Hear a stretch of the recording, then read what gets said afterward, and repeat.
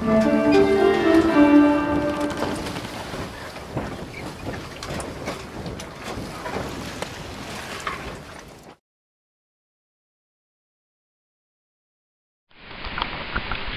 right, right now we have the uh, process starting, putting down tacas, uh, basically marking where we're gonna make the garden area for Solaz Suites and Spa.